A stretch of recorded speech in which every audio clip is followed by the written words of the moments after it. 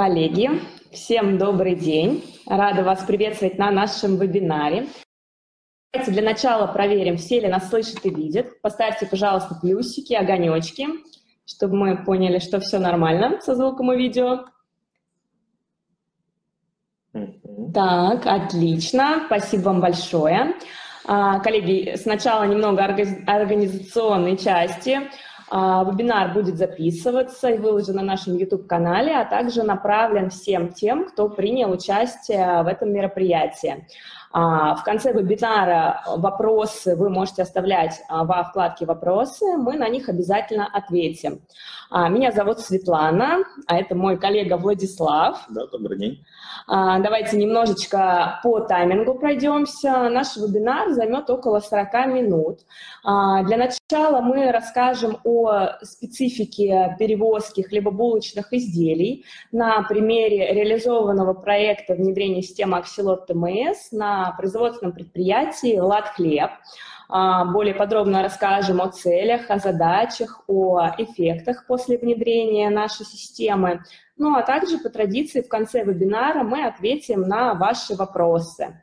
А, тогда начинаем. Немножечко подробно расскажу о компании «Влад Хлеб». А, это компания производственная, производит хлебобулочные кондитерские изделия. Находится предприятие в городе Владивосток. Ну и в целом занимает лидирующую позицию по производству хлебобулочных изделий на Дальнем Востоке. Ассортимент а, продукции насчитывает более 400 наименований хлебобулочных, кондитерских, бараночных изделий. А, некоторые из них даже представлены за пределами Дальнего Востока и Восточной Сибири. А, в активе компании находятся три производственные площадки. Они расположены в городах Владивосток, Большой Камень, Артем. А также в компании есть свои розничные магазины «Лакомка» и «Свежий хлебушек». А, география поставок распространяется по всему Дальнему Востоку, Камчатке, Сахалину и Магадану. А, а теперь готова передать слово Владиславу. Он более подробнее расскажет о проблематике перевозки хлебобулочных изделий, так как очень важно, да, чтобы горячий хлебушек был доставлен вовремя во все там магазины, сетевые, розничные, а самое главное – госструктуры, такие как детские сады, больницы, школы и воинские части. Владислав? Да, коллеги, слова. поговорим про проблематику. А, на текущий момент перед производственным сегментом а, ну, как бы стоят масштабные задачи. А, много еще чего нужно сделать для технической, технологической модернизации, для максимально полного использования потенциала отрасли. А, внедрение, так сказать, умного производства. А, сейчас поговорим об основных особенностях, проблемах, с которыми сталкиваются при а, доставке хлебобулочных и кондитерских изделий. Одной из особенностей кондитерских и хлебобулочных продукций является ее ограниченный срок годности. Соответственно, данный товар, если осуществляется да, там возврат продукции от э, контрагента, э, он уже не подлежит перепродаже, Соответственно, здесь предприятие как бы, оно может понести убытки как в части произведенного производства, в части утилизации, так и в части, например, если мы доставляем наемными транспортными средствами продукцию, то мы потратимся на возврат товара до склада. А, также это строгие регламентированные да, там, временные окна а, по доставке. А, здесь э, необходимо да, там, быть всегда вовремя, доставлять хлебушек, не опаздывать. Соответственно, да, там детские сады, больницы, они должны быть э, точно в срок выполнена доставка, иначе отсутствие товара, она может вызвать э, некий резонанс и может нанести предприятию не только урон по финансовому положению, а также и репутационный урон, который может вызвать да, там, массу слухов и а, домыслов.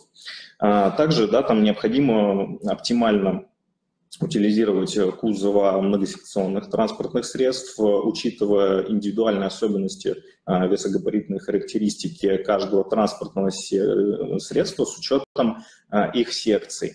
А, то есть, по сути, да, там у нас при доставке Э, товара используется многосекционный транспорт э, для того, чтобы отделять кондитерскую продукцию от э, горячего хлеба. И, соответственно, данные транспортные средства, они оборудуются рефрижераторными установками.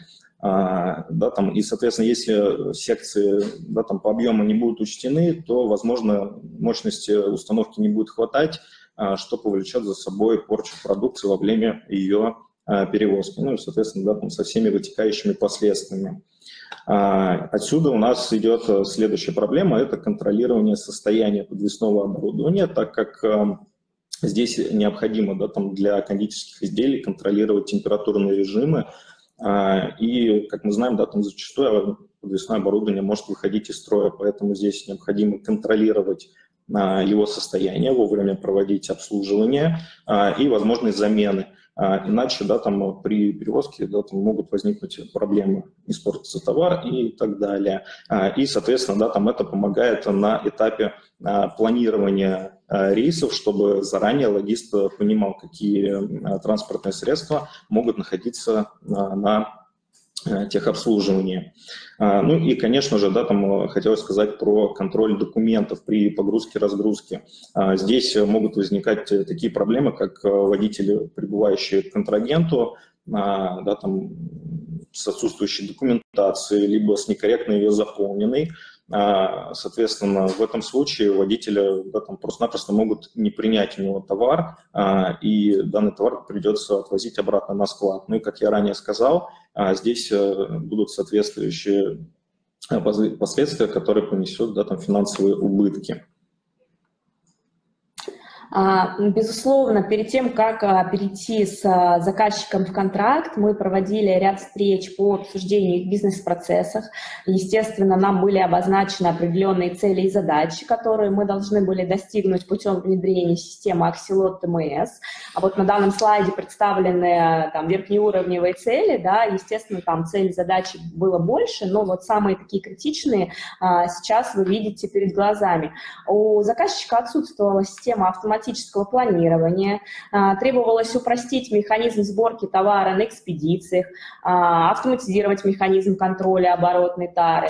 А, безусловно, это минимизация влияния человеческого фактора, необходимо было повысить эффективность механизмов планирования и многое другое. Владислав, хотела бы, чтобы ты поподробнее рассказал еще там о задачах, немного там рас, раскрыл да, эту да, проблематику, чтобы нашим клиентам было наиболее понятно понятно, с чем мы столкнулись в ходе проекта и чего в итоге добились.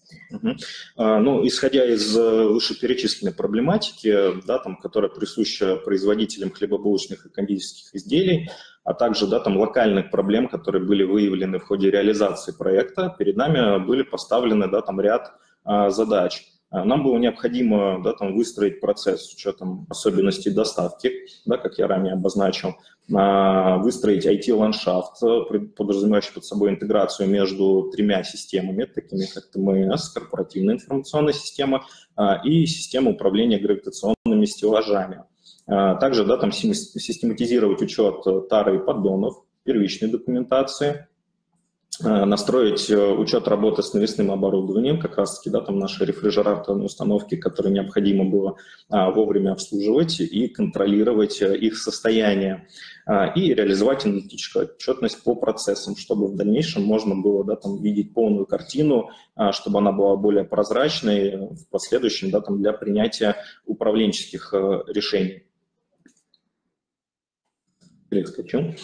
А, в данной части, да, там, собственно, совместно с заказчиком и интегратором корпоративной системы у нас была выстроена четкая бизнес-модель по формированию а, потребностей в перевозке, да, там, начиная от производства.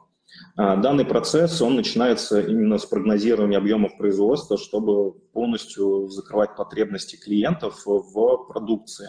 Данный процесс, он да, там очень важен, так как э, в течение дня контрагенты могут вносить э, корректировки э, по заказам в сторону да, там, увеличения либо уменьшения заказанного объема продукции. Соответственно, чтобы выстроить корректный план производства, необходимо учитывать данную статистическую модель.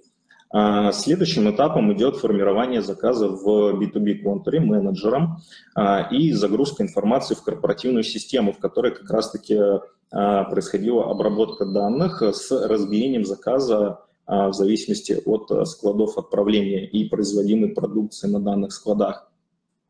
После этого информация да, там выгружалась в ТМС-систему, в которой уже происходила обработка данной информации, да, там в части определения зон доставки, да, там учета корректных временных окон контрагентам с учетом графика их работы, а, определялся температурный режим в зависимости от э, номенклатурных позиций, да, там это кондитерские изделия, а, либо да, там хлеб у нас э, едет, либо там эклеры, торты а, и так далее.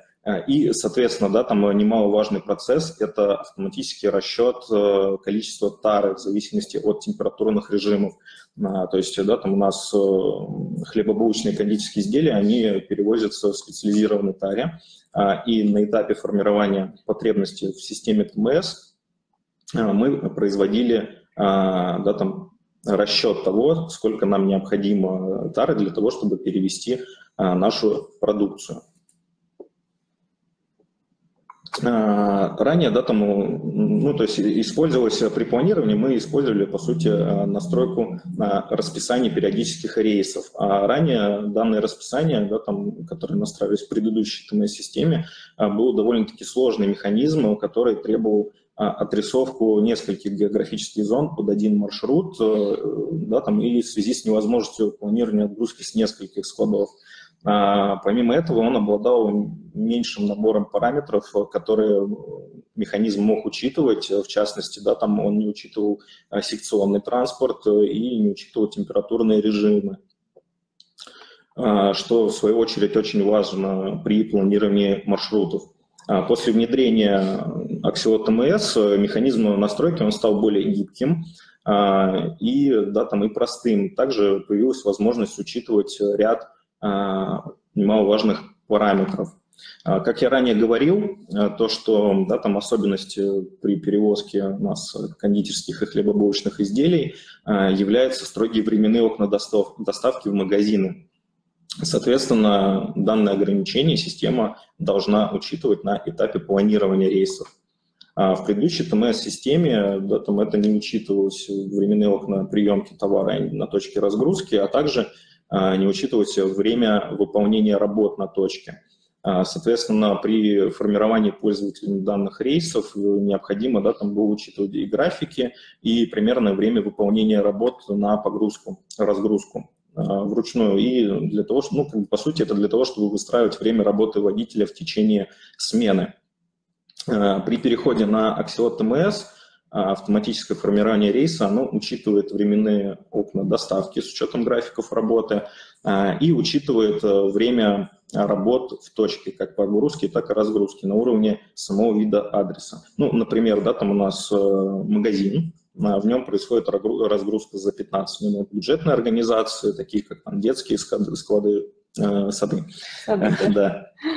Э, школы, больницы, там э, это происходит ну, примерно за 30 минут. И сетевые магазины, где разгрузка может достигать 60 минут.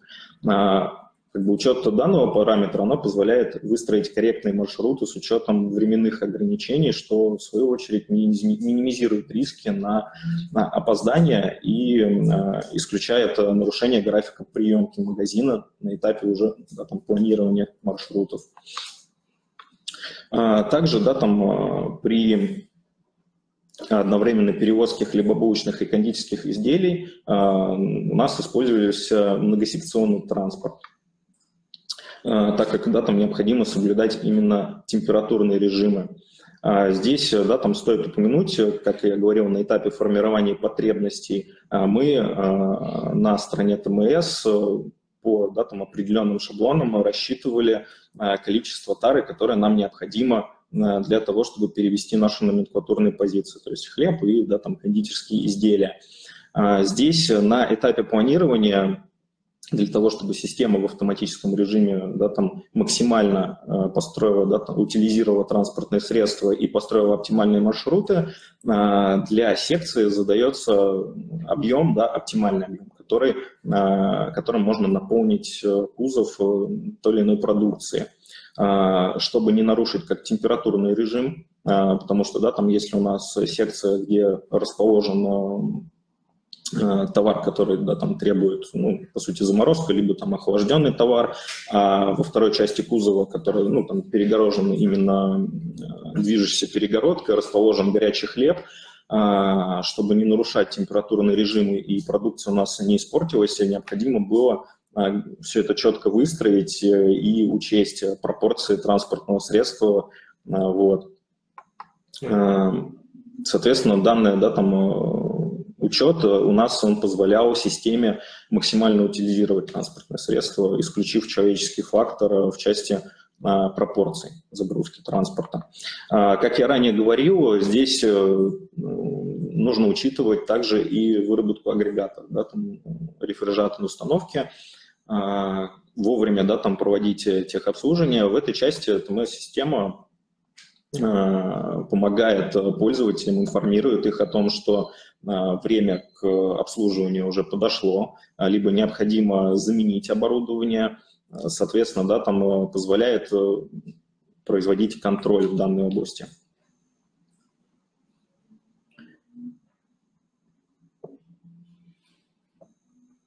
Как я и говорил ранее, предприятие оно является крупнейшим производителем кондитерских и хлебобулочных изделий на Дальнем Востоке. Соответственно, из э, печей выходит огромный объем продукции, э, который необходимо доставить как в пределах собственного да, там региона, так и э, далеко за его пределы. В связи с этим перед нами была поставлена задача выстроить строгий порядок отгрузки для ну, порядка 50-60 рейсов с учетом самовывозов на четырех складах. А, для уменьшения ожидания водителей на экспедиции, чтобы предотвратить да, там, а, некие пробки а, и своевременно, чтобы все транспортные средства отправлялись э, в дальние уголки за его пределы. При решении данной задачи мы совместно с заказчиком э, выбрали следующий подход. В систему единоразово заводится общий шаблон, как бы позволяющий автоматически выстраивать корректный порядок отгрузок, учитывающий доставки как на большие расстояния, внутригородскую доставку, а, самовывозы, отгрузки в бюджетной организации. И после проведения автоматического планирования рейсы выстраивались э, э, в корректном порядке и выводились в специальное рабочее место, предназначенное для сотрудников экспедиции, э, которые, основываясь на данной информации, осуществляют отбор товара для последующей его отгрузки.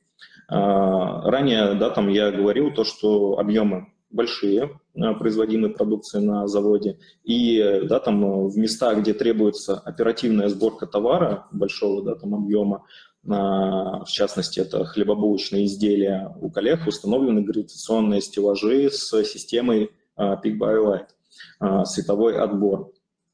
Гравитационные стеллажи, они используются для упрощения и ускорения работы, которая позволяет э, справляться с именно большим объемом продукции.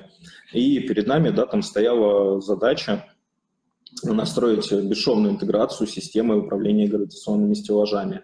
А, данная интеграция да, там, с ТМС-системой, она передает информацию по товару на сборку, а, позволяет да, там, получать в обратную сторону данные о фактически собранном товаре. А, и в последующем эта информация она передавалась в корпоративную систему на основании да, там, о выполнении комплектации на стороне КИС у нас уже ну, как бы в корпоративной системе формируется сопроводительная документация. И, соответственно, да, там, чтобы сотрудник экспедиции начал сборку товара, необходимо данную информацию ему передать. Здесь э, да, там, мы использовали сборочные ведомости, которые да, там, сканировались сотрудником, и начинался процесс отбора товара с корректно рассчитанным количеством продукции да, там, по лоткам, ну, сколько необходимо было собрать продукции. А, и, соответственно, да, здесь выполнялся строгая последовательность сборки, которую да, там мы формировали уже на этапе именно а, планирования рейсов. Ну, как я ранее говорил, здесь это все выводилось в рабочее место по плану порядка отгрузки, а, которое было предназначено для сотрудников экспедиции. А, контроль исполнения рейсов ранее да, там осуществлялся вручную логистами по факту возвращения водителей из рейса, в связи с чем у коллег не оставалось фактического понимания о том, сколько времени тратится на ту или иную точку маршрута, ну, то есть, по сути, на работы в точках. И о задержках узнавалось только при да, там, связи с диспетчером. А, в процессе запуска проекта совместно с заказчиком было принято решение о дальнейшем внедрении а, мобильного приложения, которое позволяет учитывать фактические параметры рейса, то есть да, там а, в приложении отмечается факт исполнения, время затрачиваемое на работы в точке, водитель отмечает задачи, которые он выполняет, продукцию, которую он разгрузил, вплоть э, до номенклатурных позиций – Э, в нем фиксируется да, там, четкое время э, исполнения именно маршрута. Э, и, соответственно, данная информация из приложения передается в систему Axial TMS для последующего анализа план-факта маршрута. Также да, там, во время исполнения необходимо учитывать оборотную тару, которая да, там, Э, требует строгого учета. И при недостаточном объеме тары склад он э, да, там не сможет своевременно отгрузить э, товар, а также да, там предприятие не будет иметь представления о требуемых пополнениях оборотной тары, которая, да, там, допустим, ну, вышла из строя а, или была там безвозвратно оставлена на точках доставки. А, то есть, как я ранее говорил, да, там водители для ускорения времени, они, приезжая на точку, Э, да, там оставляли э, тару и на обратном пути ее забирали. Ну, какую-то там часть тары могли забыть или что-то такое произойти. Вот. И совместно с заказчиком мы разработали бизнес-модель, которая включала в себя основные процессы предыдущей ТМС-системы и модернизации, которая позволяла Axelot ТМС. Функционал он учитывает выдачу и сдачу тары водителями обратно на склад – а перед началом э, рейса водитель сканирует на экспедиции свой индивидуальный бейджик, а по окончанию рейса, да, ну и, соответственно, ему выдается тара. А по окончанию рейса он аналогично выполняет отметку о сдаче тары из рейса с указанием ну, фактически переданного количества. А выдача и приемка тары, она строго фиксируется контролерами на всех экспедициях. Данный подход он позволяет э, систематизировать учет движения тары для последующего контроля выданного и возвращенного количества, ну и, соответственно, с фиксацией разницы на водителе. А, и, в свою очередь, он предоставляет а, прозрачную аналитику. А, как ранее я упоминал, одна из проблем – это контроль возврата документов водителями. Предшествующая ТМС-система, она не позволяла вести такой учет в автоматическом режиме. Соответственно, нам было необходимо автоматизировать данный процесс, и да, там мы его автоматизировали. Axiot TMS она позволяет э, контролировать а, движение сопроводительной документации в рамках рейса и сообщая пользователю о невозвращенных документах э, водителям из рейса, что упрощает, по сути, процесс э, введения задолженности сопроводительной документации водителей. Ну, а теперь, да, там перейдем к самому сложному и интересному – это механизмы, позволяющие нам э, в момент времени увидеть актуальную информацию и принять э, управленческие решения. А, в процессе запуска проекта возникло понимание о том, что коллегам не достает текущей аналитической отчетности а, о процессах доставки груза, вследствие чего да, там проектными командами были спроектированы отчеты, позволяющие отследить э, цикл жизни продукции от печи до прилавка.